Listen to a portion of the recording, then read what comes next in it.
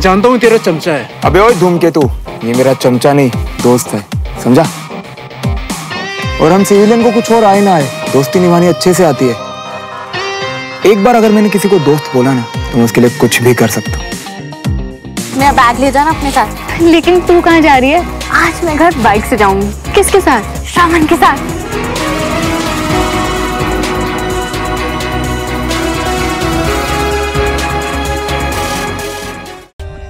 For more updates, subscribe to our channel, click the show links and enjoy watching the videos.